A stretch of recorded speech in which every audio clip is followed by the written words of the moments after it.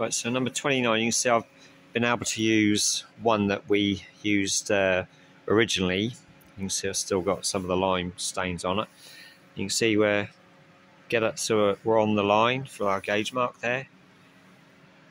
And obviously, nice one and a half millimeter joint. So when I'm doing this one for you here, obviously I'm going to need a closure, header, closure, and a header.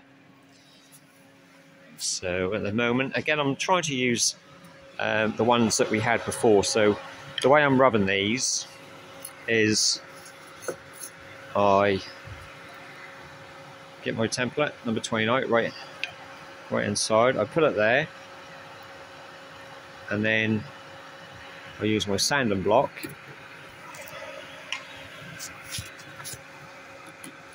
Uh, I've got the smooth side and the rough side. So if I've got a, a load to take off, obviously I'll use that.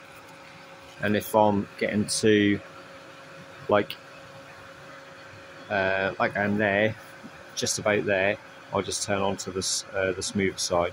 So what I do is just rub to until I get down to my template and then I'll move it to the other end and you just see there I'm just a little bit high there so what I'm going to do is use this, the coarse side, just rub this until I'm on there, and then once both ends are right, I then rub it and keep checking with the square to make sure I'm right there. But you can just see here, I've just got a little bit of daylight on top of my template there. So I'm now going to rub that one down. And then I'm going to fake in a perp and a perp there just to get two closures on the header and then I'll have to uh, cut and rub myself the end header after I've done this one. So just faked in these two joints uh, just to make it look like I've got two closures there. I've just rubbed this one independently and again just to recap, I kept that on the end and I rubbed to that, rubbed to the top as well. And then obviously using straightness, I just uh, did that. And just see there that I could do, got a bit of daylight there just still. Just need to rub down where my thumb is just to get that down. So I'm just going to rub that down before I take it over. So just rub them down so they're a little bit smoother now. I just got just a fraction of light there, but that's less than sort of like uh, half a mil, so I'm well happy with that. I just do a, a double check on the face paint as well, which I'm really happy with.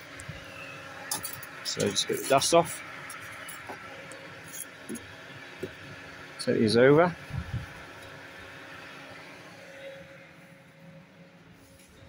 To the arch.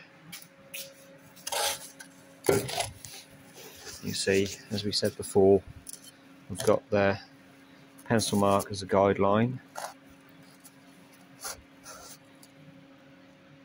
It fits on there really well.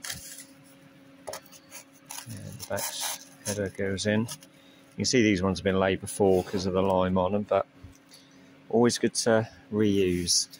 So I'll just double check by putting straight edge through there. And then when I'm happy with that, there we go. So I am pretty happy with that. So now I will go on to 30. So just six more to do to get to the crown uh, basically caught up with Dutchy. Um, that's how I was off on Thursday with a broken down vehicle, so Dutchy steamed ahead of me, so I've just come in on Saturday morning to catch up. So, looking forward to this. Have a tidy up and get them